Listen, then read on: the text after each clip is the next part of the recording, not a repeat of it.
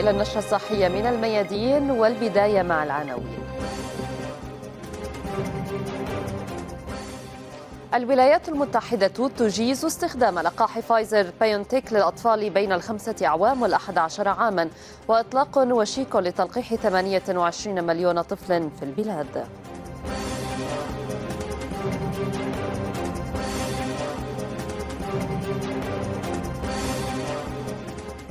الحزام الناري مرض جلدي ناتج من عدوى فيروسية يصيب منطقة الخصر أو أحد جانبيها وقد يظهر بعد الشفاء من الجدري.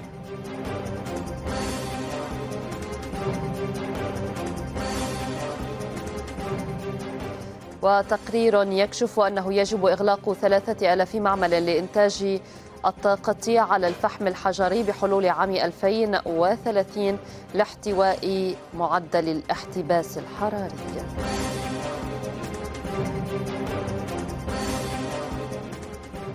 أجازت الولايات المتحدة استخدام لقاح فايزر بايونتيك المضاد لكورونا للأطفال الذين تراوح أعمارهم بين الخمسة أعوام والخمسة عشر عاما. ما يفتح الطريق أمام الإطلاق الوشيك لمرحلة أساسية من حملة التلقيح تشمل نحو 28 مليون طفل في البلاد.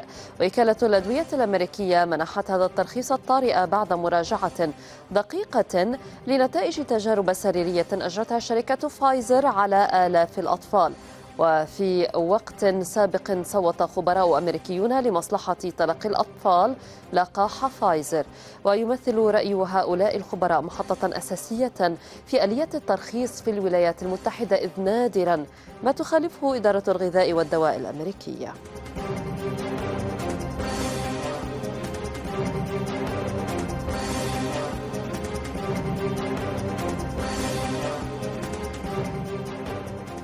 كشفت دراسة نشرت في ساينس أدفانسز مسار انتشار مرض الزهايمر في الدماغ. والدراسة هي الأولى التي تستخدم معطيات بشرية لتقييم سرعة التطورات الجزئية التي تؤدي إلى هذا المرض التنكسي. وورد في الدراسة أن تراكمات من البروتينات السامة التي يظن أنها وراء تراجع القدرات الإدراكية المرتبط بمرض الزهايمر تصل إلى مناطق مختلفة من الدماغ وتتكدس فيها على مدى عقود وتنسف هذه النتائج. الفرضية القائمة على أن هذه التراكمات تتكون في موقع واحد وتؤدي إلى تفاعل تسلسلي في مواقع أخرى كما لوحظ عند الفئران. وقد تنتشر البروتينات بهذه الطريقة لكن هذه الآلية ليست المحرك الرئيسي لانتشار المرض بحسب الباحثين.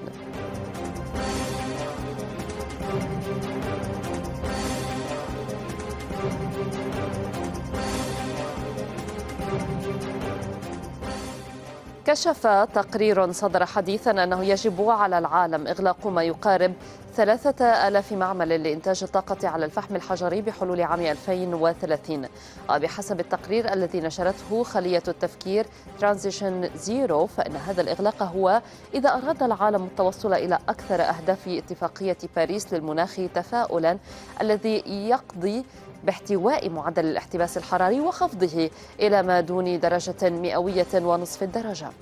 وأشار التقرير إلى أن أكثر من مليوني ميجاوات من كهرباء الفحم الحجري التي هي قيد التشغيل من دون انقطاع في العالم لا تستخدم تقنية التقاط أو التقاط ثاني أكسيد الكربون وتخزينه. إلى الملف الطبي.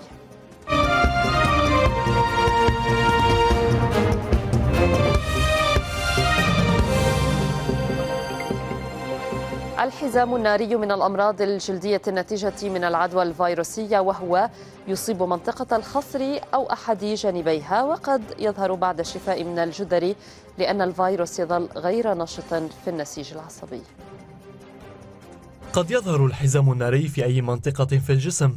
في معظم الحالات يظهر على شكل نطاق أو حزام من الطفح الجلدي يلتف حول أحد جانبي الخصر. المسبب الرئيس له هو الفيروس ذاته الذي يسبب الإصابة بجدري الماء أو الحماق.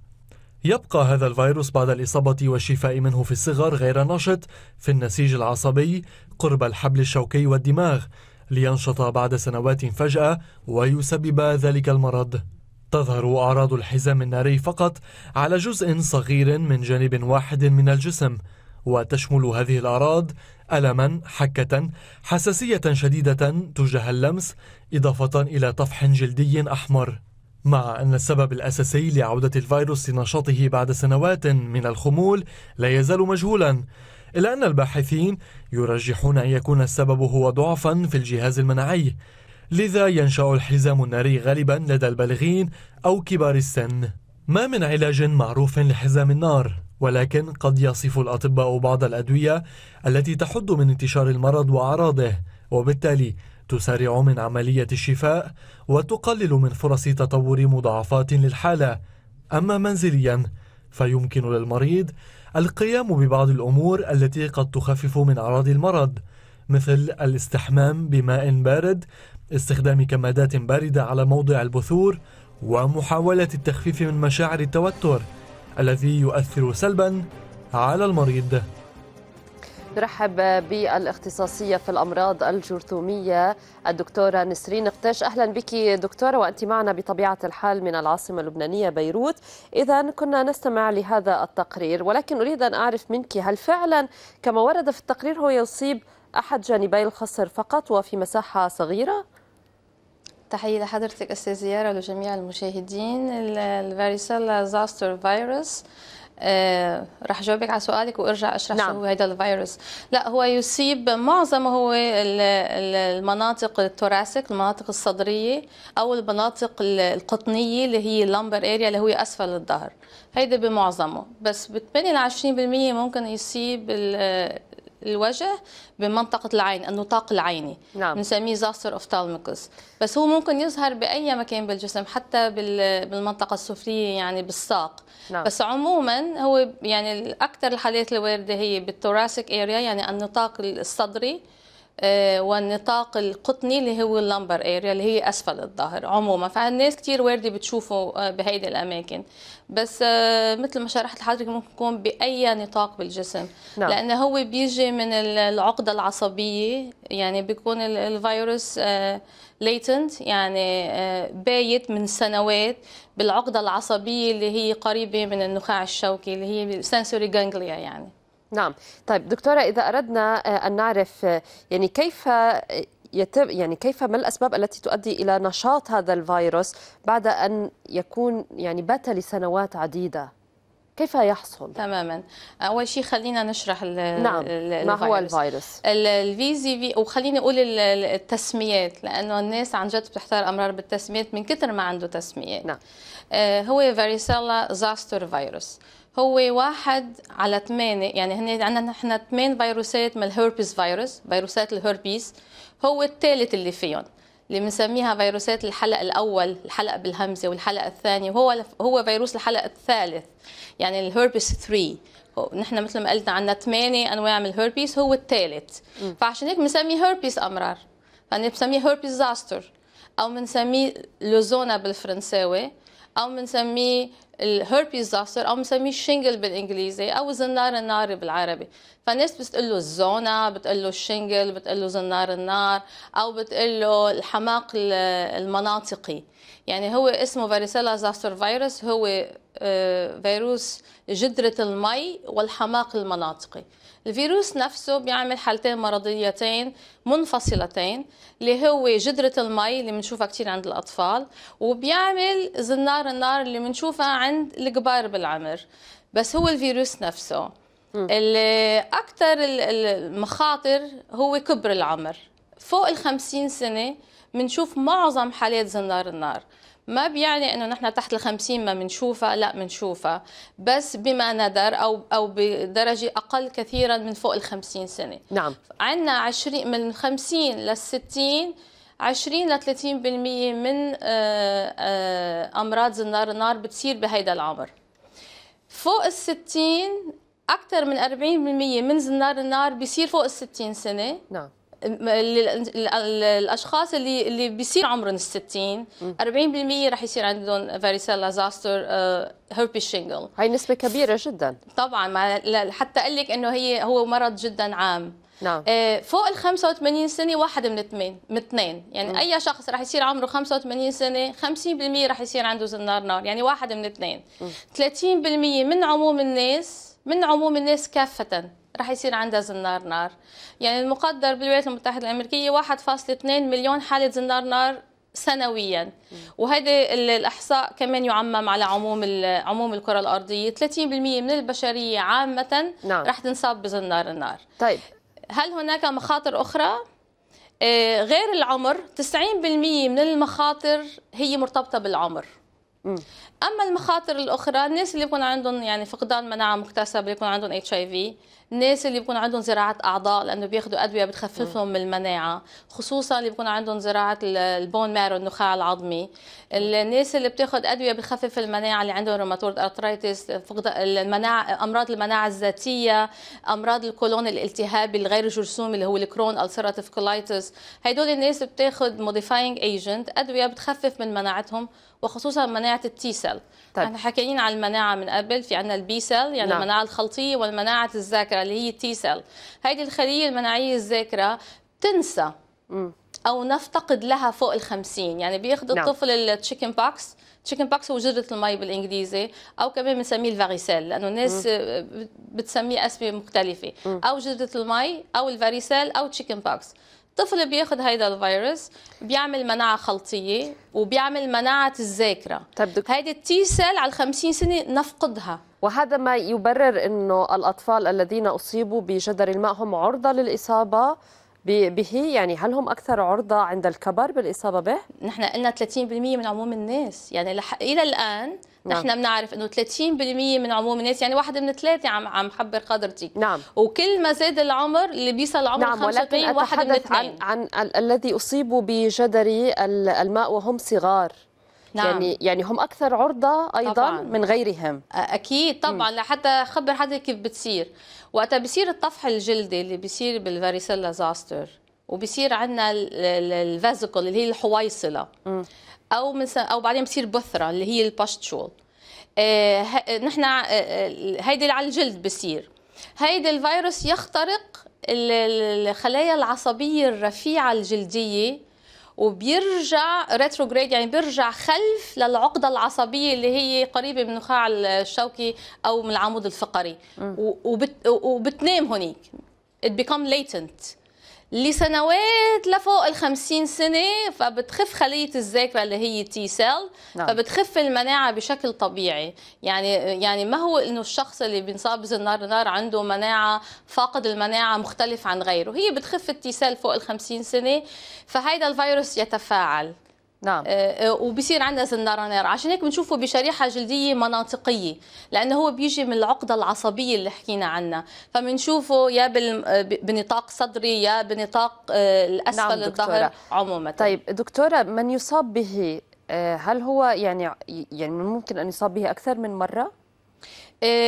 recurrent herpes zoster يعني التكرار ال herpes zoster هي 1 ل 6% من عموم الناس. نعم. آه، ليش هن اللي بيتعرضوا للتكرار أكثر من مرة عادة بيكونوا هن اللي عن جد عندهم فقدان مناعة م. يعني يا عندهم HIV اللي هو فيروس فقدان المناعة المكتسبة يا بياخذوا أدوية بتخفف من مناعتهم مثل ما خبرتي اللي كان بيكون عندهم زراعة نخاع عظمي أو زراعة أعضاء أو اللي بيكون بياخذوا أدوية بتخفف من مناعتهم اللي بياخذوا للروماتورد ارترايتس أو لامراض المناعة الذاتية بياخذوا أدوية بتخفف من المناعه عموما أثاره وأعراضه على من لديه لديهم نقص في المناعة آه، ونتحدث عن حالتان إما النقص المناعة الطبيعي اللي آه، يعني الخلية المرتبطة آه، خلية T T cells كما أسميتها وأيضا من هم يأخذون أدوية تسبب نقص المناعة أو لديهم أمراض معينة من نقص المناعة. هل تختلف الأعراض بين الحالتين؟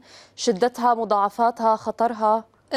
طبعا نحن هي الأعراض عادة بتكون آه، مثل ما خبرت حضرتك الطفح الجلدي اللي العالم بتعرفه وشايفته اللي هو عبارة عن حويصلات وبتتجمع الحويصلات بصير بله وبتعمل بتعمل احمر بكون ال background يعني أرضيته احمرار. أمرار ما قبل الطفح بصير عندنا وجع حاد فالشخص بقول عندي أوجاع فمش معروفه شو هي الأوجاع من يومين لثلاث أيام قبل آه، آه، ما تبين الطفح بصير في أوجاع. أوجاع بكون أوجاع شديدة لأنه بكون في التهاب عصبي. م. يعني العصب اللي مارق بهيدي الشريحة المناطقية الشريحة الجلدية العصب اللي فيها بيكون ملتهب من هيدا الفيروس. فبصير في وجع ألم شديد داخلي بحسه الشخص وبيطلع وما بيلاقي شيء عشان هيك أمرار يشخصوا وكأنه عنده آه، جلطة صدرية أو أمراض أخرى. وبعد يومين ثلاثة ببين الطفح فبنعرف إنه هيدي هي الزاستر كيف يتم علاجه؟ لكفي لحضرتك. نعم. أو ممكن يكون أمرار قليل ما بكون في حرارة أو بيكون في تعب. ما بعد ما بعد الزاستر ممكن يصير في عندنا مضاعفات. وعادة اللي بيصير عندهم مضاعفات هن الناس اللي بيكون عندهم مناعة آه، قليلة أكثر من غيرهم. نعم. من المضاعفات ممكن يصير في التهابات سحايا التهابات بغشاء الدماغ التهابات بالقرنية قرنية العين تلتهب قرنية العين فبصير في عندنا عمى. هذا إذا يعني كانت الإصابة في منطقة الوجه بالقرب من العين العمى؟ أحسنتي. نعم.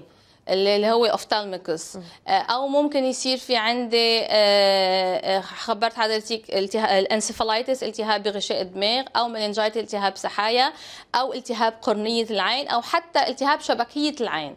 فبصير في عمى. فبقول the leading cause of acute retinal necrosis يعني نخر ال retina نخر الشبكية. نخر شبكية العين. أكبر سبب مسبب فيها هي ال varicella zoster آه وأمرار بصير في عندي شيء اسمه Ramsay Hunt يعني متلازمة Ramsay Hunt بصير في عندي شلل نصفي على الوجه من وراء ال varicella zoster شلل نصفي دائم؟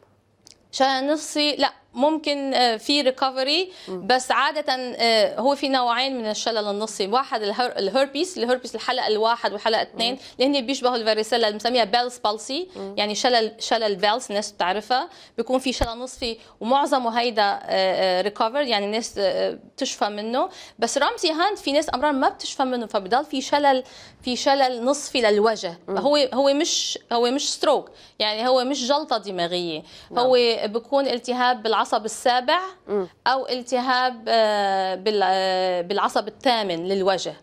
بال zona ophthalmicus اللي هي العين هو بيكون عادة نحن بنقول بننبه الأشخاص اللي بيكون في عنده طفحات على رأس الأنف أو على جهة من الأنف طبعا لازم يلجأ للطبيب لفحص العين لأنه هذا بسموه العصب الخامس. اللي هو الثلاثي trigeminal اللي هو عنده ثلاثة branch V1 V2 V3 منها بيكون آه، بتيجي على العين وبتيجي على آه، الأنف. فاللي بيكون عنده طفحات على الأنف خصوصا على رأس الأنف المفروض آه، فورا يفحص العين لأنه ممكن يكون في التهاب بقرنية العين أو حتى التهاب بالشبكية. الفحص المبكر للعين في حال الإصابة يقي من الإصابة لأنه أنت بصير تعطي أدوية antiviral يعني بصير تعطي الأسايكلوفير أو ال Valtrex بتدخل المريض على المستشفى بتعطيه بتعطيه حبوب. يعني نحن مش كل زنار النار يستحق إنه واحد ياخذ انتي فيرال نعم. لأنه هو self-limited يعني هو ذاتيته بيخلص بذاتيته. بس وإحنا بيكون في عندنا مخاطر إنه يكون في التهابات بقرنيه العين أو شبكة العين بنفوت المريض على المستشفى وبنعطيه بالعرق وبالتالي آه، يقيه من احتمالية الإصابة في العمى. يعني ما في guarantee ما في ضمان بس طبعا يجنبه الكثير مثل كل العلاجات. ما في علاج شافي وافي 100% بس طبعا هيدا هو العلاج المفروض وطبعا يقيه. نعم. وحتى يعني حتى كمان ال varicella zoster ممكن تسبب جلطات دماغية. لأن هي ممكن تعمل التهابات بال arteries بأوردة الدماغ. فبس هيدي المضاعفات قليلة. مين اللي ممكن معرض إنه ينصاب أكثر اللي هن ناس عندهم فقدان مناعة. كانه نعم. فقدان مناعة بفيروس فقدان المناعه ولا بالادويه اللي قلنا عنهم أو لأنهم بياخذوا أدوية تخففهم مناعتهم آه، إذا عندهم زراعة أعضاء. هل هو معدي معدي هذا الفيروس دكتورة؟ طبعا معدي. طبعا معدي بس آه، نحن معظمنا اخذين آه، جدرة المي. يا عبر إنه نحن مصابين بالمرض على صغر يا اخذين الفاكسين. نعم. آه، اللي بيكون عنده antibody اللي بيكون عنده مضاد خلطية آه، موجود. يعني نحن كلنا بنشتغل بالمستشفيات قبل ما نشتغل بالمستشفى بيعملوا لنا فحوصات. هل عندنا المناعة ضد جدري المي أم لا؟ فكل اللي بيشتغل healthcare worker بيعرفوا إنه أنا عندي هيدي المناعة فبصير أنا أتعرض للمريض بأقل ترتيبات وقائية. أما اللي أما اللي ما عنده هيدي المناعة ممكن ياخذ إيه من زنار النار لأنه زنار النار آه، عبر اللمس آه، بياخده وبيجي airborne يعني بيجي عبر الهواء كمان. نعم. فاللي بيكون عنده جد آه، زنار نار مناطقي أكثر من منطقة نحن بنحطهم بغرف معزولة وبنلبس كمامات كمامات ال N95 يعني كمامات ال airborne كمامات الهواء. مش بس الكمامات اللي هلأ بنلبسها للكورونا لأ الكمامات ال N95 لأنه ممكن يجينا عبر الهواء. هو عادة الفيروس بيجينا عبر الهواء وبتخلل الأنسجة الليمفاوية بالأنف وبيروح بالدم وبعدين بصير عندنا جدرة المي. نعم. فبصير طفرات جدرة المي. كل الشكر لك دكتورة آه، نسرين قطيش وأنت الاختصاصية في الأمراض الجرثومية. كنت معنا من العاصمة اللبنانية بيروت. شكرا لكم مشاهدينا على المتابعة. النشرة الصحية انتهت لهذا اليوم. إلى اللقاء.